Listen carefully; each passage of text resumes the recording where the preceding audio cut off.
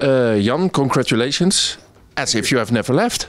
Yeah, it was a good game, I think. Uh, and I'm glad to be back anyway.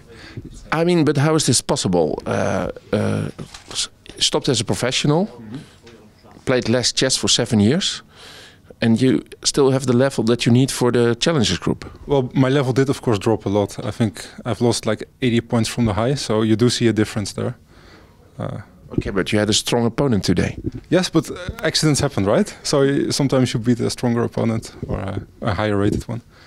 Uh, are you already getting ambitions uh, for the tournament? Of course, I want to qualify for the, the Masters now.